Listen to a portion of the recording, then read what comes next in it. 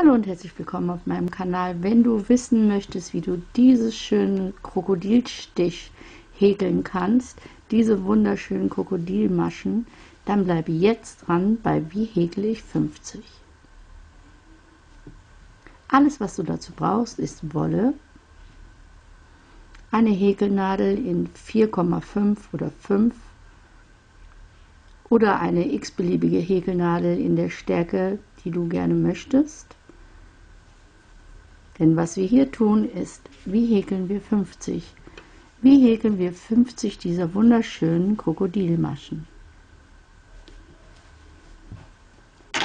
Wie gesagt, wir brauchen, wir brauchen eine Häkelnadel in einer Stärke, die du gerne haben möchtest oder die du da hast, eine Schere und Wolle. Wir beginnen wie auch bei unseren anderen wie häkle ich 50 Videos wie immer mit einer Luftmaschenkette von 50 und einer Reihe in festen Maschen.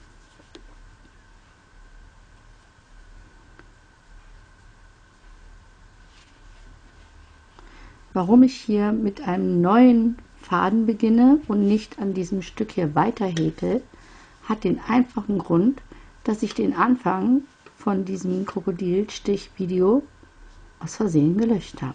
Und deswegen dürft ihr jetzt daran teilhaben, wie wir das nochmal für Anfänger machen. Ihr anderen könnt natürlich einfach weiter hier an eurem Stück arbeiten. Wir waren ja hier am Ende angelangt von unserer letzten Arbeit und da setzt ihr dann einfach eine Reihe in festen Maschen auf, wie immer. Und wir beginnen jetzt mal mit unseren 50 Luftmaschen. 1,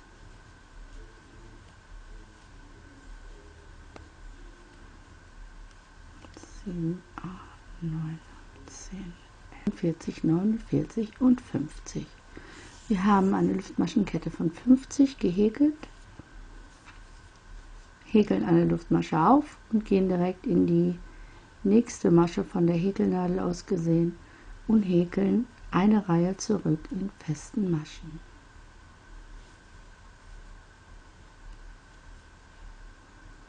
Das ist unsere Grundlage für alle unsere Wie häkel ich 50 Videos.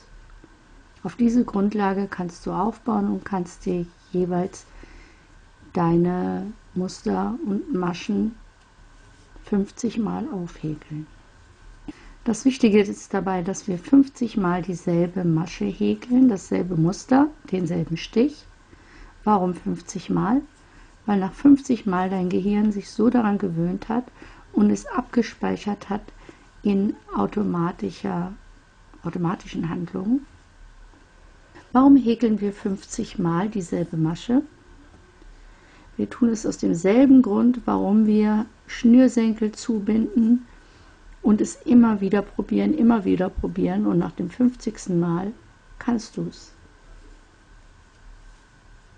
Es ist aus dem Grund, dass wenn du eine Sache regelmäßig tust oder immer wieder hintereinander tust, du es in deinem Langzeitgedächtnis abspeichern und auch wieder abrufen kannst, ganz automatisch, nachdem du einfach nur an diese Sache gedacht hast. Zum Beispiel, wenn du nur an das Wort Schnürsenkel denkst und du einen Schnürsenkel in der Hand hast, weißt du, wie du diesen Schnürsenkel zubinden kannst und wie du eine Schleife in diesen Schnürsenkel hineinbekommst, wenn du es vorher geübt hast.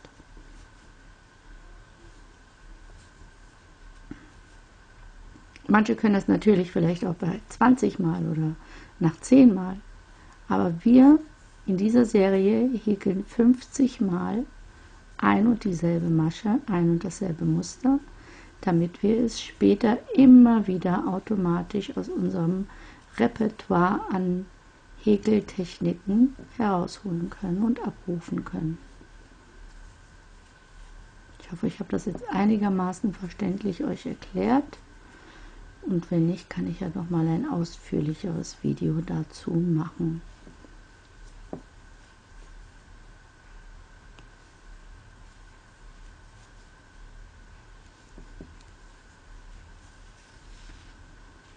Nachdem wir jetzt die 50 festen Maschen gehäkelt haben, häkeln wir wieder eine Luftmasche auf und wenden unsere Arbeit und fangen mit dem Fundament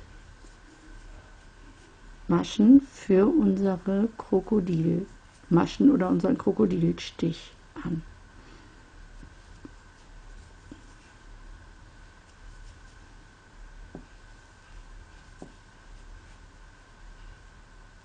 Dieser Krokodilstich wird eigentlich im amerikanischen Crocodile Stitch genannt und hier im Deutschen denke ich Schuppenmasche oder Schuppenstich.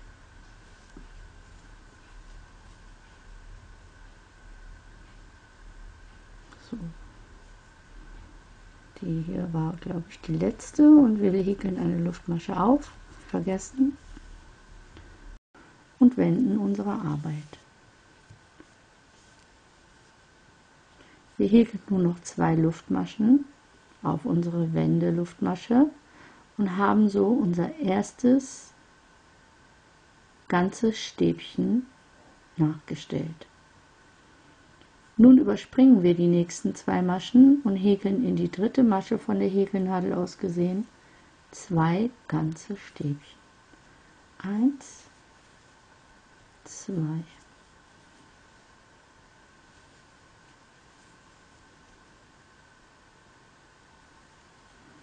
Wir häkeln eine Luftmasche auf, überspringen wieder zwei Maschen, gehen in die dritte Masche hinein und häkeln dort ein ganzes Stäbchen rein. Das machen wir jetzt im Wechsel. Jede dritte Masche mit einem ganzen Stäbchen, jede dritte Masche mit zwei ganzen Stäbchen im Wechsel. Eins, zwei, drei, zwei ganze Stäbchen, Auf diese Reihe bauen wir nun gleich unsere Schuppenmasche bzw. unseren Krokodilstich auf. Und eine Masche im Wechsel. Nicht zu vergessen die Luftmasche, die ich glaube ich hier vergessen habe.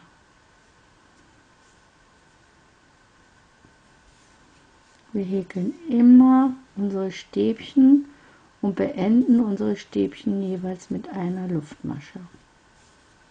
Und zwei Maschen überspringen in die nächste, ein ganzes Stäbchen und Luftmasche, Faden holen, zwei Maschen überspringen in die dritte Masche, wieder wo waren wir? Zwei ganze Stäbchen.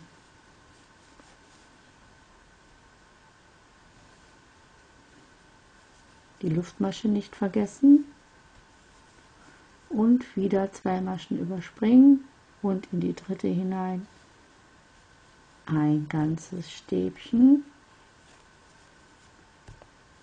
eine Luftmasche, Faden holen, eins, 2 überspringen, in die dritte Masche einstechen, Faden holen, Umschlag nehmen, durch die ersten zwei, durch die zweiten zwei, noch einmal Faden nehmen, Umschlag holen, durch die ersten zwei, durch die zweiten zwei, unsere zwei ganzen Stäbchen in eine Masche.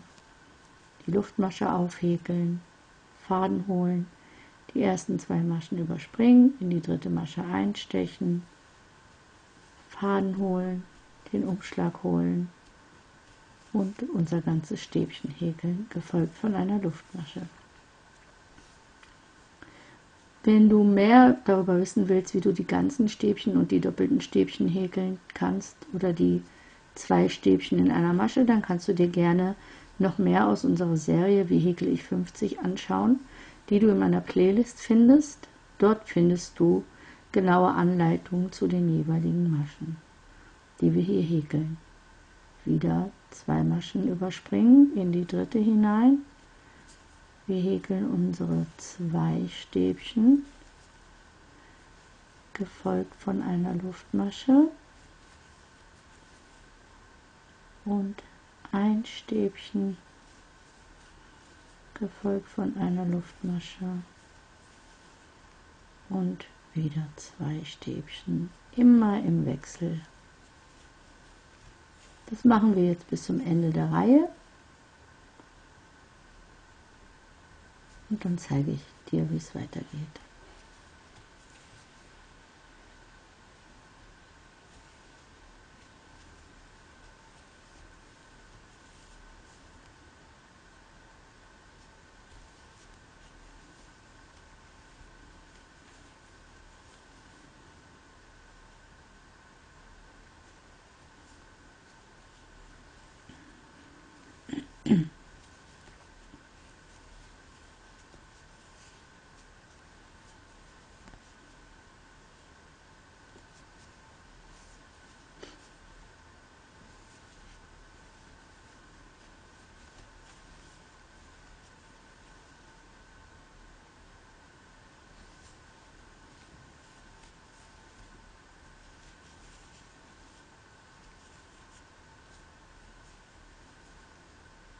1, 2, 3 und wir häkeln unsere letzten zwei Stäbchen in dieselbe Masche und häkeln hier in die letzte Masche ein ganzes Stäbchen rein.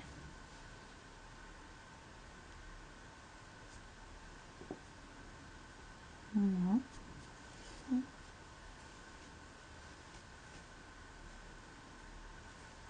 Wir häkeln eine Luftmasche auf, wenden unsere Arbeit, gehen nun in unser Set von den zwei Stäbchen direkt in die erste Masche hinein, nehmen Faden auf und häkeln hier in dieses Maschenglied fünf ganze Stäbchen hinein. Eins, zwei, einfach nebeneinander.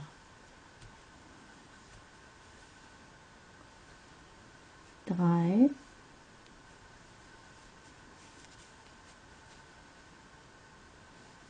vier,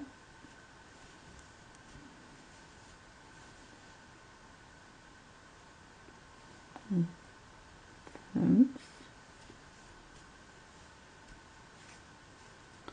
zeig dir das mal jetzt näher.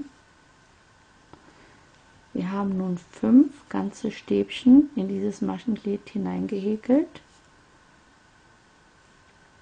und wollen nun in diesen gegenüberliegenden oder nebenliegenden Maschenglied auch fünf ganze Stäbchen einhäkeln.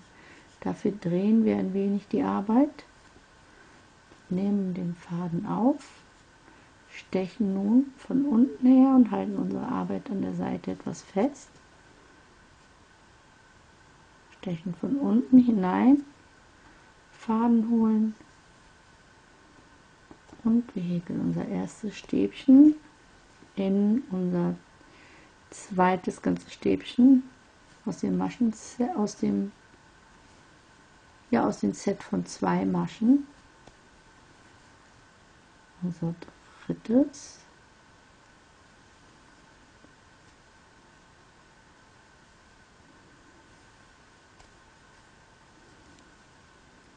Unser viertes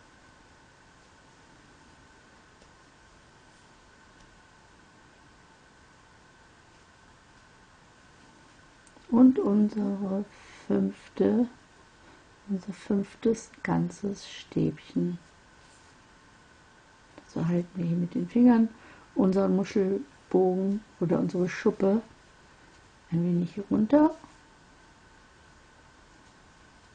Nun drehen wir unsere Arbeit wieder in die richtige Richtung und befestigen unsere Schuppe mit einer Kettmasche in unser einzelnes Stäbchen.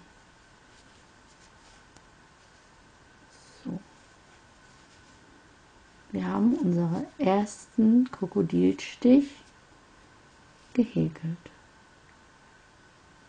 Unsere, erst, unsere erste Schuppenmasche oder unser erster Schuppenstich ist gehäkelt. Davon häkeln wir nun 50 Davon häkeln wir nun 50 Stück. Wir häkeln eine Luftmasche auf Hier haben wir wieder unsere zwei Stäbchen. Nehmen den Faden auf, häkeln wieder in das Maschenglied. Wir gehen nicht hier oben in die Masche rein, sondern häkeln um das Maschenglied herum unsere fünf ganzen Stäbchen. Eins, zwei, drei,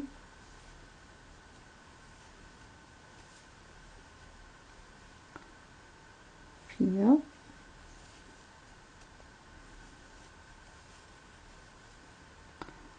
und fünf.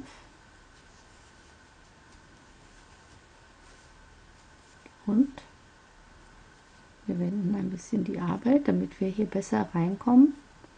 Nehmen den Faden auf, gehen um das Stäbchen herum und häkeln dort wieder fünf Stäbchen rein. Eins,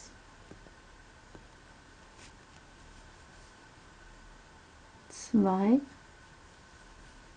Das Wichtigste hierbei ist einfach nur, deinen Faden schön locker zu lassen und nicht zu eng zu häkeln, damit du gut in die Maschen hineinkommst. Alles andere geht dann mit der Zeit, wie gesagt, es heißt nicht umsonst, wie häkle ich 50, nach 50 Mal kannst du es dann schon ganz gut, um nicht zu sagen fast perfekt. Und zählen mal, wir haben vier und noch die fünfte.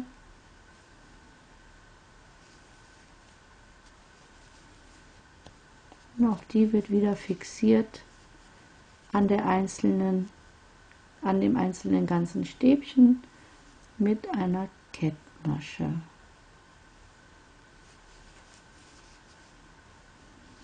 Wir schauen uns unsere Schuppenmaschen an unsere Krokodilstiche. Die sind doch richtig schön geworden. Eine Luftmasche und wieder in die in das ganze Stäbchen fünf ganze Stäbchen. Zwei, drei, vier,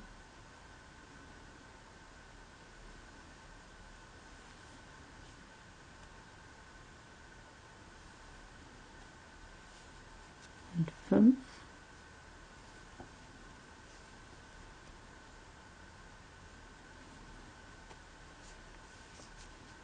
Und Arbeit ein wenig drehen. Und in das nächste ganze Stäbchen wieder fünf ganze Stäbchen. Ups.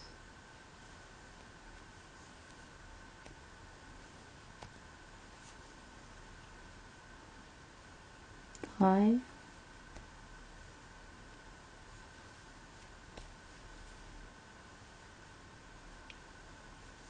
Vier. Und fünf. und fixieren mit einer Kettmasche in das nächste ganze Stäbchen. Ups.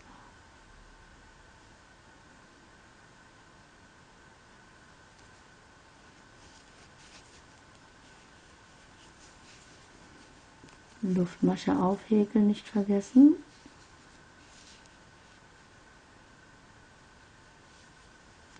Und hier sehe ich, dass ich eins übersehen habe. Interessanterweise. Ups. Da häkeln wir doch glatt ein ganzes Stäbchen hinein. Eine Luftmasche aufhäkeln und hier wieder fünf ganze Stäbchen. Zwei. drei,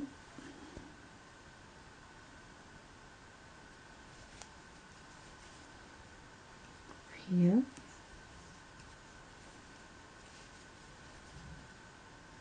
und fünf.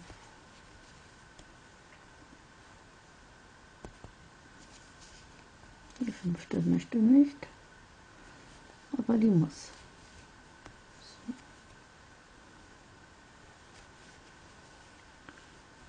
Und in das nächste Stäbchen aus dem Stäbchen-Set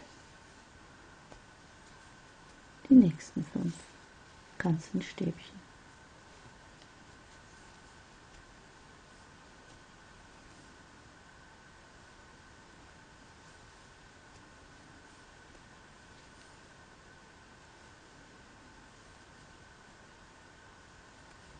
Du siehst, wie ich das hier festhalte zwischen Daumen und Mittelfinger. Und zwar halte ich am oberen Rand des Stäbchens fest und habe ein wenig die Arbeit gedreht, um so besser in die Stäbchen hinein zu gelangen. Und wieder befestigen mit einer Kettmasche eine Luftmasche aufhäkeln und unsere nächste Schuppe.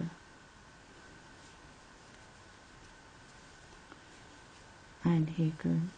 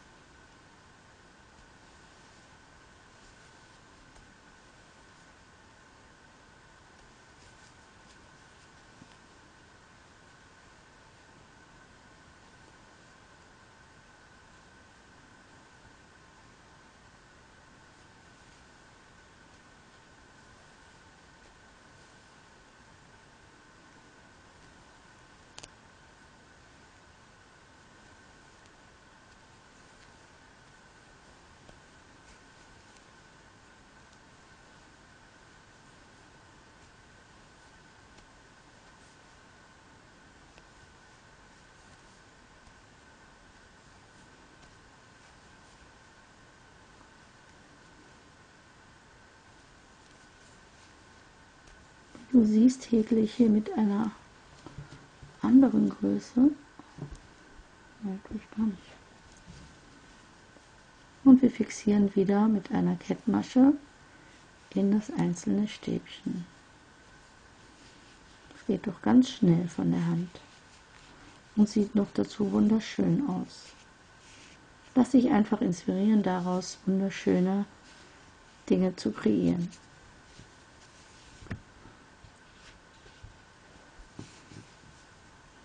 Häkel das am liebsten auf Röcke auf, auf Kinderröcke oder an Oberteile. Eins, zwei, drei,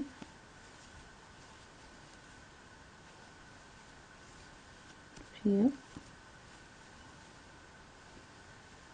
und 5. Auch für die Mermaid Decken ist dieser Stich richtig gut. Du kannst diesen Stich wunderbar für Meerjungfrauendecken benutzen oder auch für Bikini, Oberteile oder Röcke. Oder für sonstige Dinge, auch Schals sehen gar nicht schlecht damit aus. Habe ich aber noch nicht selbst gemacht. Kommt vielleicht noch. Luftmasche aufhäkeln und die nächsten fünf Stäbchen einhäkeln.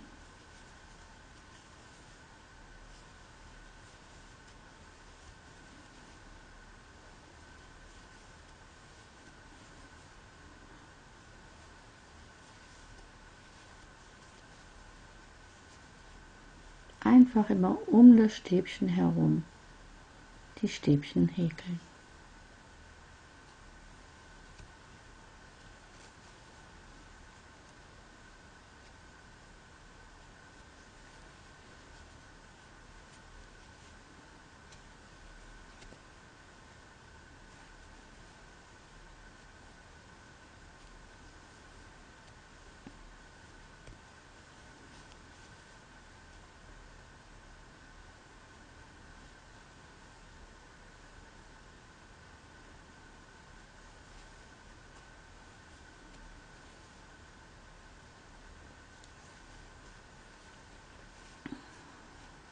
Und mit einer Kettmasche festigen, befestigen, Luftmasche aufhäkeln und unsere letzte Schuppe, unser letzter Krokodilstich, drei,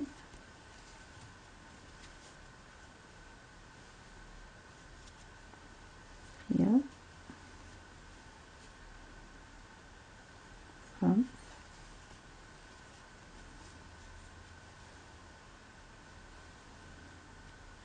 eins,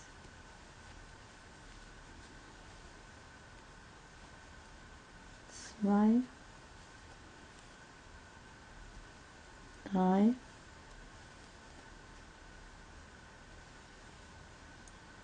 vier. Und fünf. Und wir befestigen unsere letzte Schuppe an unser letztes einzelne Stäbchen mit einer Kettmasche.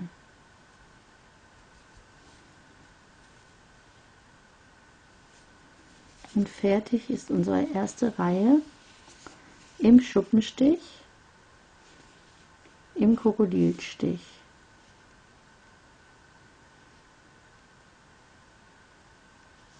Wir haben 1, 2, 3, 4, 5, 6, 7, 8 Schuppen aufgehäkelt und häkeln so weiter, wie wir jetzt gehäkelt haben mit dieser Fundamentreihe in einzelnen und doppelten Stäbchen und danach mit den Schuppen. Wir häkeln nun so weiter in Reihen. Wir beginnen jeweils mit der Fundamentreihe, mit dem einzelnen Stäbchen und den zwei Stäbchen in einer Masche, wenden dann die Arbeit mit einer Luftmasche und beginnen dort mit unseren Schuppen, unseren Krokodilstich. Wir häkeln Luftmasche auf, wenden unsere Arbeit, häkeln zwei Luftmaschen auf, haben so unser imitiertes ganze Stäbchen und gehen dann in die Mitte, in die Lücke dieser Schuppen hinein und häkeln dort unsere zwei ganzen Stäbchen. Und immer gefolgt von unserer Luftmasche. Dann gehen wir in die nächste Masche, das ist die hier, und häkeln dort wieder ein ganzes Stäbchen hinein.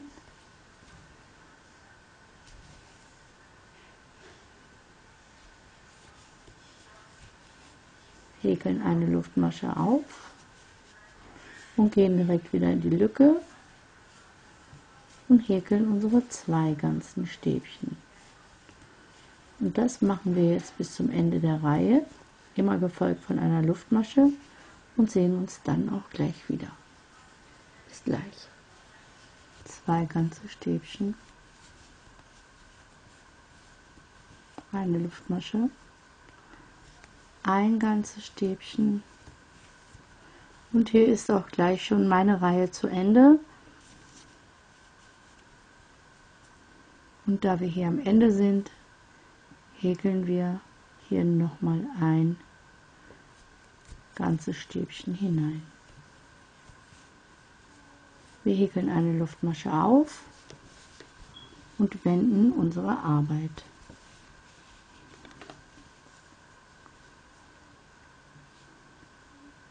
Häkeln jetzt weiter im Krokodilstich bzw. im Schuppenstich oder in der Schuppenmasche. Ich habe jetzt hier 1, 2, 3, 4, 5, 6, 7, 8 und wir häkeln jetzt in dieses in diese ganzen Stäbchen beziehungsweise um diese ganzen Stäbchen herum, um die zwei ganzen Stäbchen wieder fünf ganze Stäbchen. Drei, vier, 5. Wir wenden ein wenig die Arbeit. Schauen auch, dass unser Faden ziemlich locker ist, damit wir den gut rumkriegen. Und häkeln fünf ganze Stäbchen ins zweite Stäbchen hinein. Eins,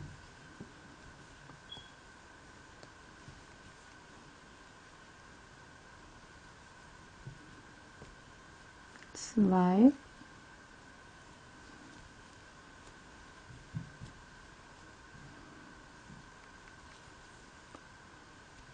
drei, vier, fünf. Und wir fixieren auch diese Schuppe mit einer Kettmasche in das ganze Stäbchen hinein. Faden aufnehmen und fünf ganze Stäbchen in die nächsten zwei ganzen Stäbchen häkeln. Zwei, drei, vier,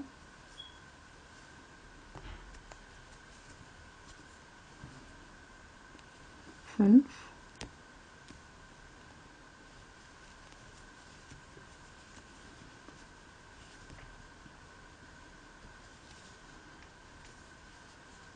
Wende deine Arbeit ein wenig.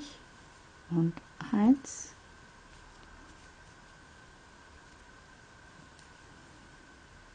zwei,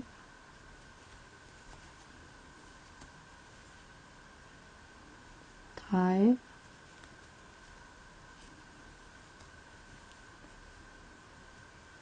vier,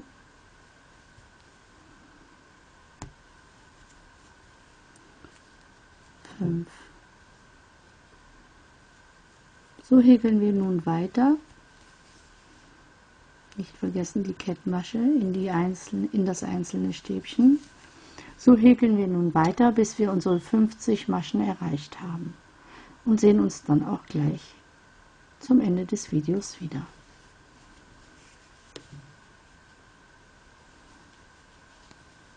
Eins,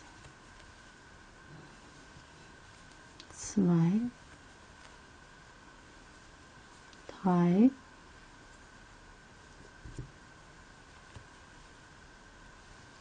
vier, fünf,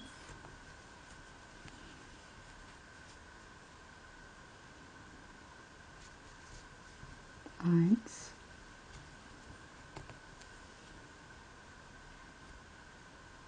zwei, drei,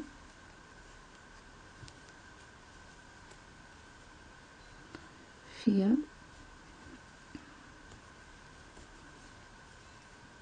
fünf und eine Kettmasche in das einzelne ganze Stäbchen. Sieht doch richtig toll aus, gell? Und eins, zwei, drei, vier, fünf. Und eins.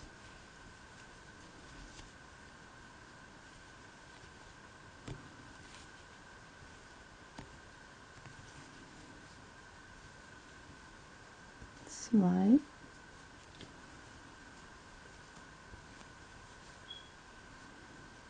Drei.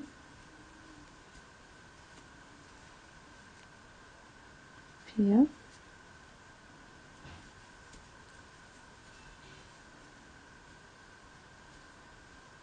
Fünf.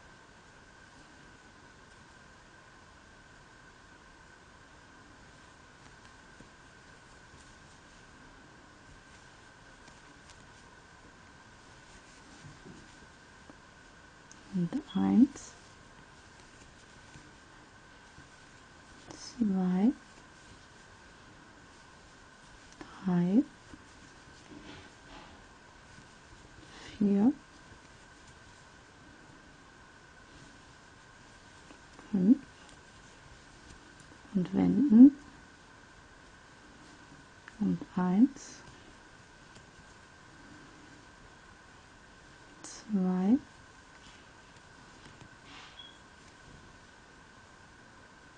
drei,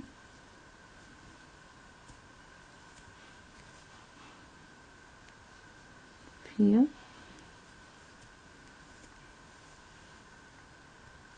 und fünf. Eine Kettmasche.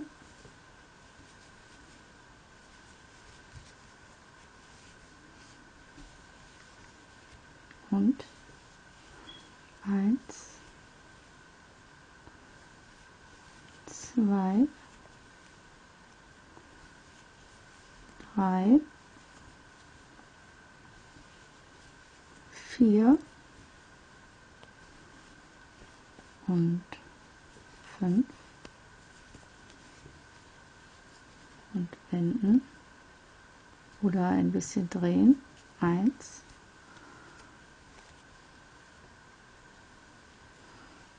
zwei, drei,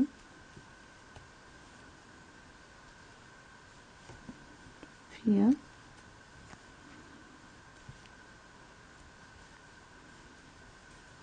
fünf,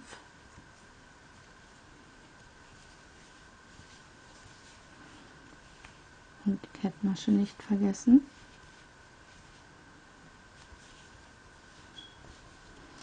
Und wir sehen uns dann wieder, wenn wir die 50 Maschen erreicht haben. Bis gleich.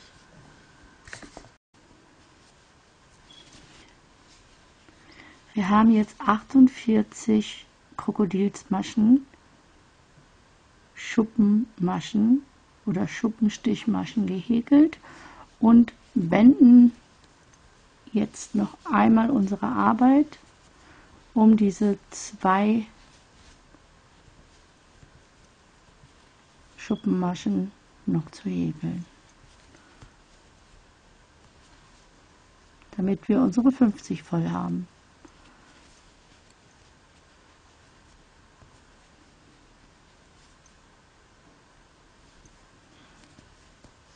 Nicht vergessen, auf jede Masche immer eine Luftmasche aufzuhäkeln.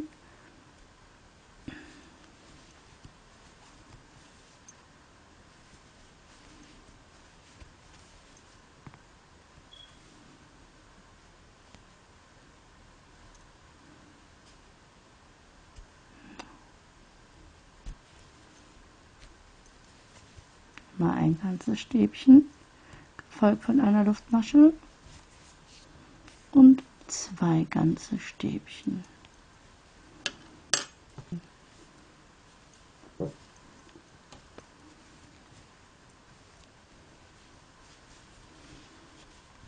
Wir werden natürlich diese Reihe noch einmal zu Ende häkeln in diesen Krokodilsmaschen, damit wir eine komplette Reihe davon fertig haben, auch wenn es jetzt mehr als 50 sind.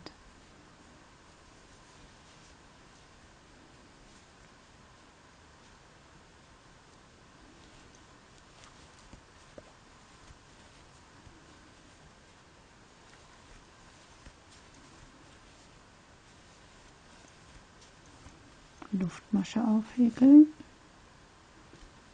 ein ganzes Stäbchen, Luftmasche aufhäkeln, zwei ganze Stäbchen.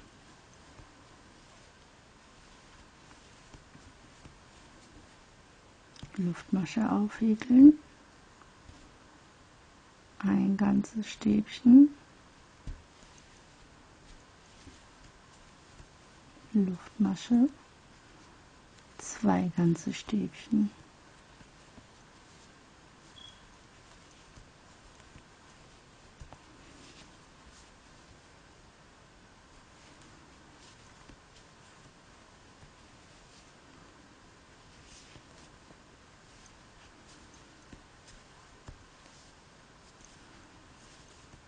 Luftmasche aufhäkeln und ein ganzes Stäbchen in die letzte Masche der Reihe. Eine Luftmasche aufhäkeln, Arbeit wenden und wir häkeln unsere letzte Reihe in Schuppenstich.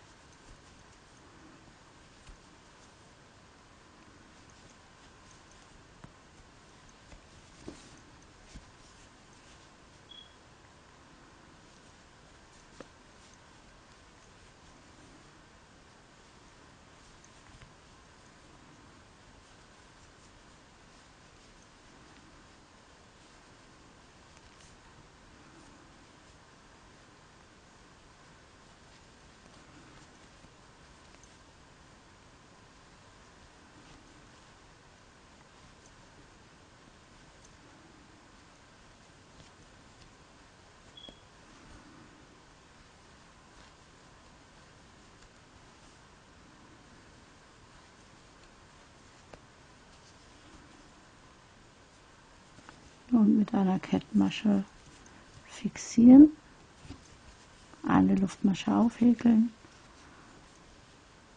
und die nächsten Krokodilsmaschen häkeln.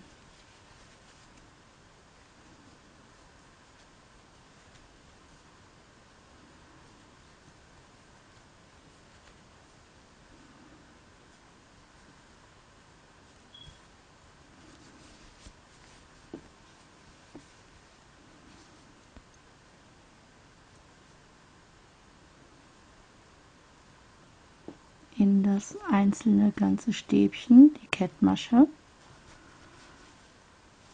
eine Luftmasche und die nächsten fünf.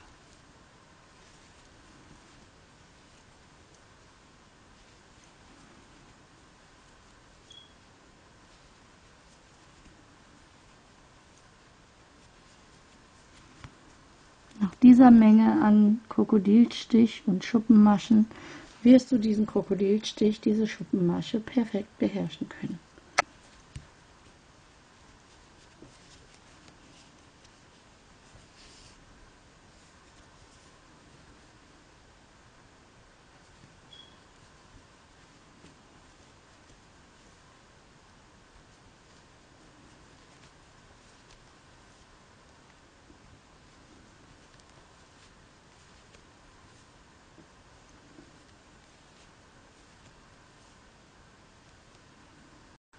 So, wir sind nun an dem Ende unserer Reihen im Krokodilstich in der Schuppenmasche angekommen und haben über 50 Maschen gehäkelt, haben also unser Ziel mehr als erreicht. Und ich hoffe, es hat dir gefallen, mir zuzuschauen und mitzumachen. Und wenn dir das Video gefallen hat, so würde ich mich über einen Daumen nach oben von dir sehr freuen. Und wenn du mich noch nicht abonniert hast, dann wird es langsam Zeit, das zu tun, damit du keins meiner Videos mehr verpasst.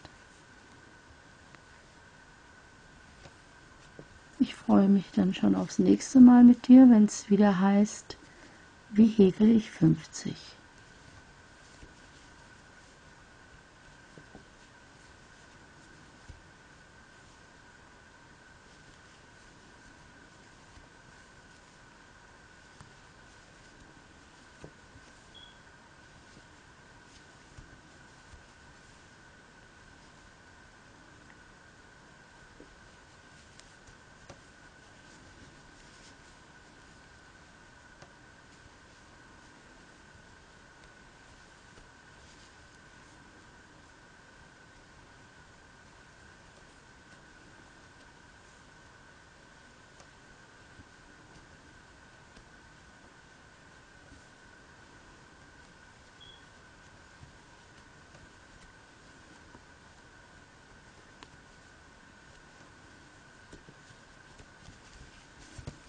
So, wir beenden.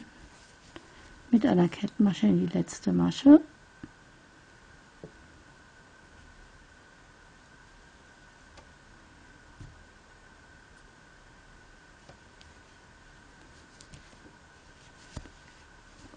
und häkeln schon mal eine Luftmasche auf. Und können jetzt entweder den Faden abtrennen, falls wir mit einer anderen Farbe weitermachen möchten, oder es einfach so belassen und sind fertig mit unserer Arbeit. Hier siehst du, habe ich neuen Faden angesetzt. Verdecken wir einfach nach hinten. So, das war's von mir. Bis zum nächsten Mal. Tschüss, eure Bimi.